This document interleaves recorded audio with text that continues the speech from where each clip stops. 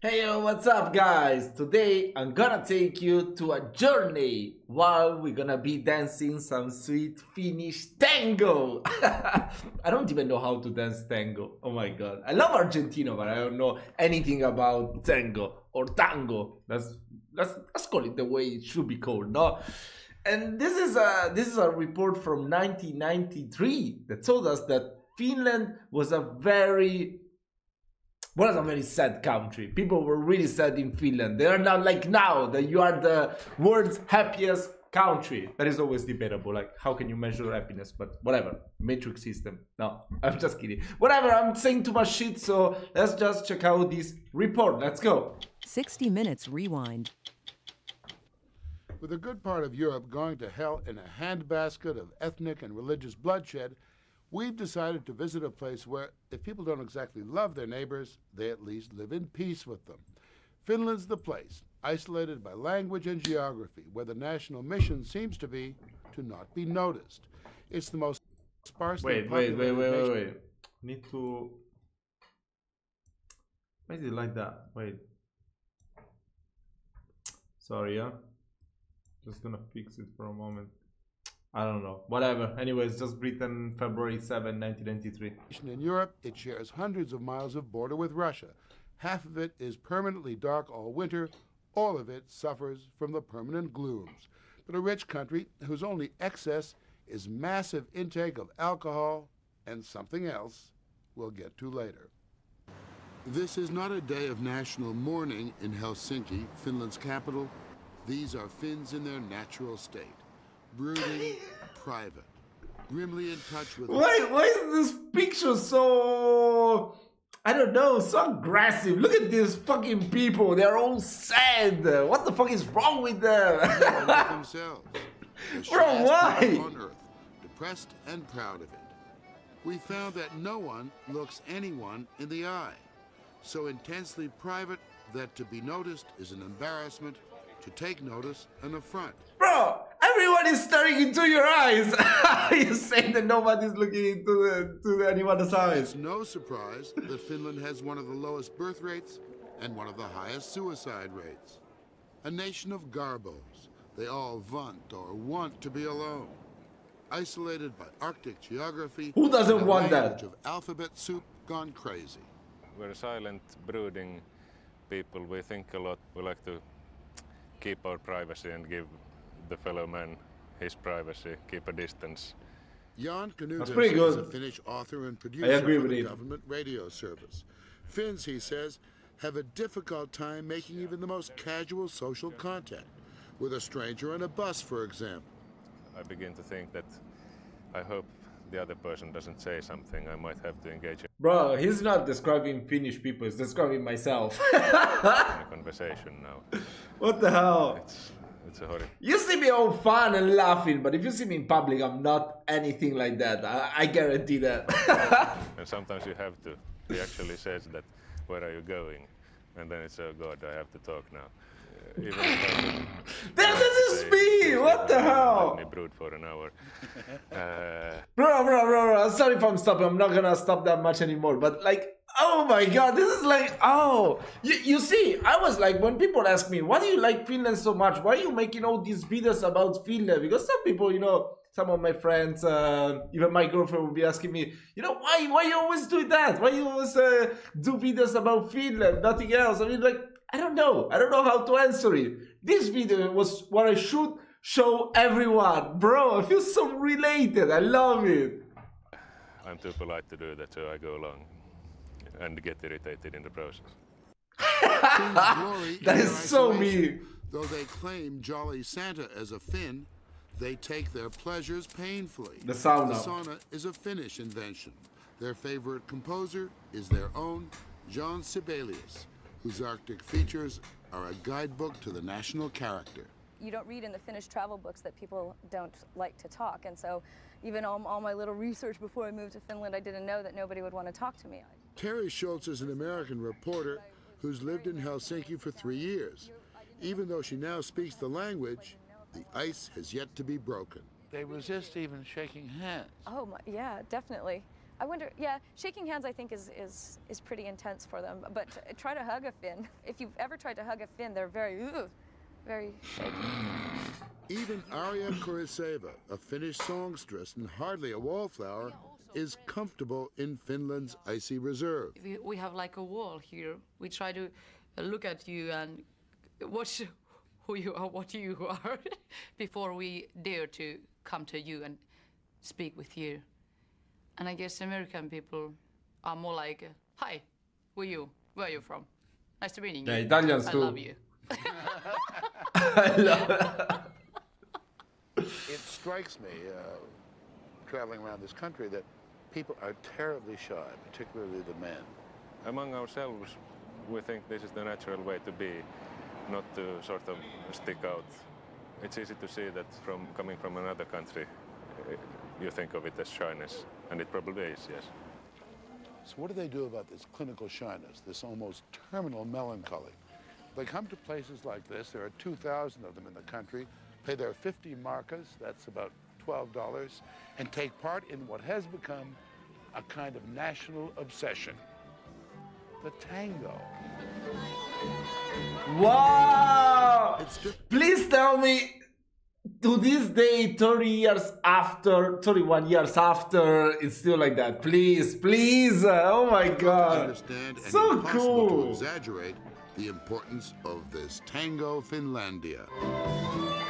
It can come upon a Finn anytime, anywhere.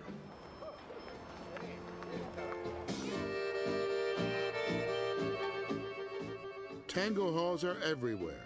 For the lunchtime crowd on Helsinki's most fashionable avenue, the Mannerheim Inca Tooth.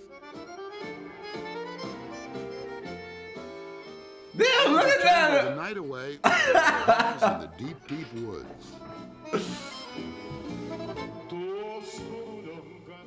The halls have one thing in common a sign like this one.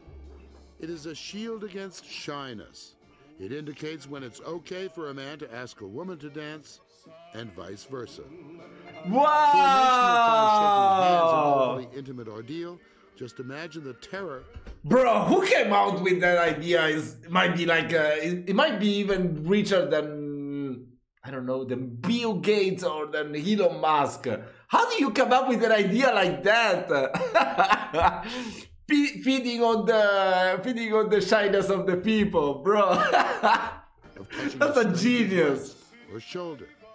But the tango and this flashing light have become the official license to touch. The music and that illuminated word say it all. Not a further word need be said. It's all accepted within these these very strict parameters of, of Finnish social being, and um, they don't have to think. They don't have to think of what to do next. I mean, they don't have to be spontaneous, and it's not uh, overtly sexy, which is something they're very afraid of, and so it's it's all it's all, all very well defined for them. There are strict rules to Finnish tango. The women stand on one side, as you've seen, the men stand on the other. The men. For them, there is an unwritten code of behavior. It's good if the man is sober enough to be able to make half of the dance, but not step on the woman's feet too much. He not smell of if it's sober enough, did you just say that? And Wait, wait, what did you say? Oh my god. Oh my god. He, he's just saying it with a straight face. That was making me laugh even more. it's good. and I'm pretty really should be sober enough. half of the dance steps and not step on the woman's feet too much. He should not smell of vomit or anything. and then he should not sort of try to impose himself on the woman. He, he shouldn't make the woman feel uneasy. He, he should be the perfect gentleman.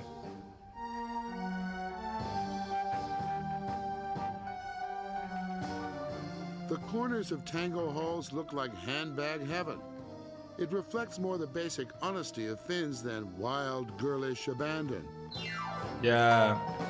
You do that in Italy, you will find uh, an empty, an empty aisle. the groin grinding, passionate Latin American version. The Finns have managed to neutralize all that.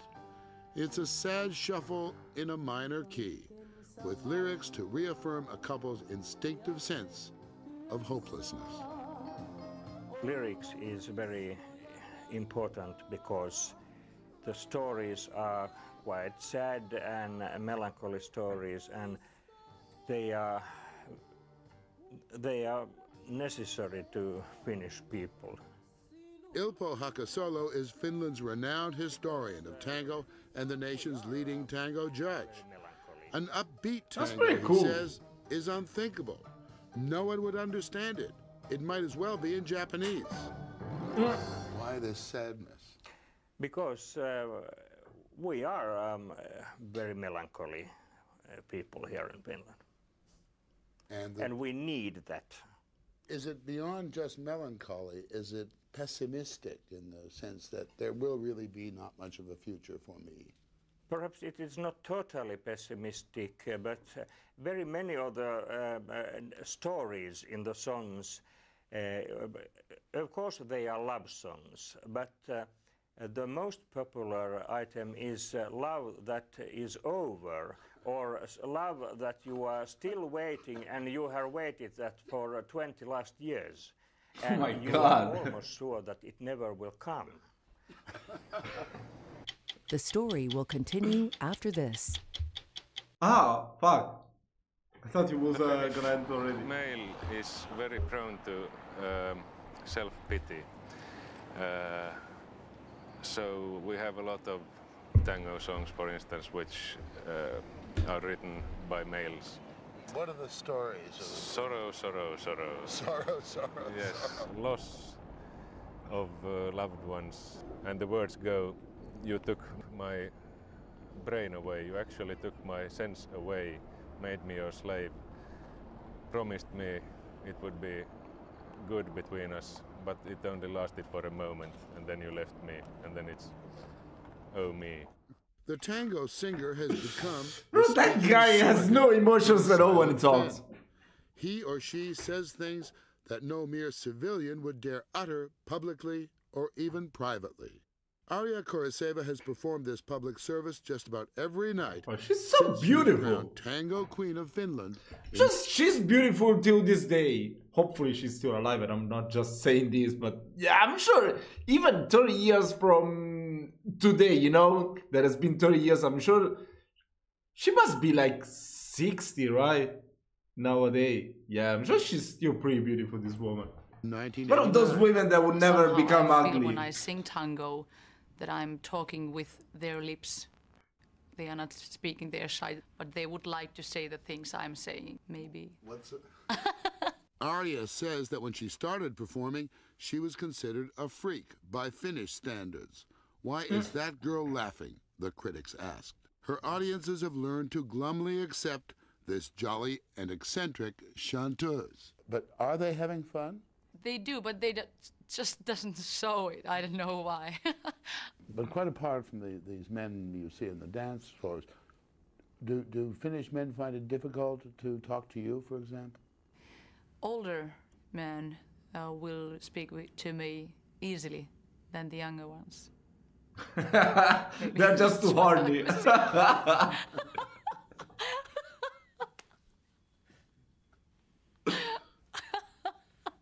What the hell? Why is she laughing so much? She's terrible. No. Oh my God, no. No. Not even, I mean, even lovers, I think. Well, I'd say you could say it once in a lifetime if you Bro, if this man, if you're a woman, let's be serious for a moment, okay? If this man comes to you and he says to you, I love you, with those eyes and all those emotions uh, in his face, bro, how can you resist? How can you resist this man saying, I love you, I love you to you? Come on, how? How? of course, if this man is watching this video, big fan, big fan, biggest fan. So you have been married for 20 years, perhaps your spouse is on her deathbed. You could comfort her with saying, I love you. But, uh, it's Bro, funny. the day I come to Finland, I wanna get drunk with this man. it's easy to me to say, like to my boyfriend, that I love you. It's we have heard it on, on TV, on movies. it's easier to me to say I love you than minä rakastan sinua. It's I guess it's. I guess it's, it's. It will feel different if you say "I love you" in a different language that is not yours, right?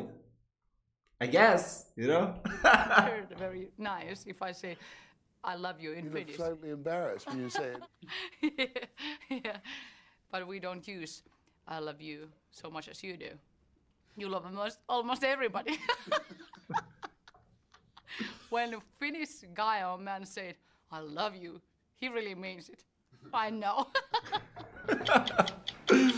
Bro, that was amazing! Oh my god, I feel like we should. These are the these are the videos that I should be reacting to. Oh my god, not those videos nowadays that uh, all YouTubers do, like uh, things I like about uh, Finland, things I don't like about Finland, what you should do, what you should not do. These are the things that.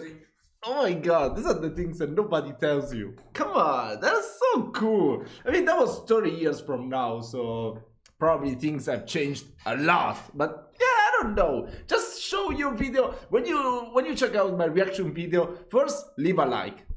That's the first thing that you should do. Then leave a comment if you want to.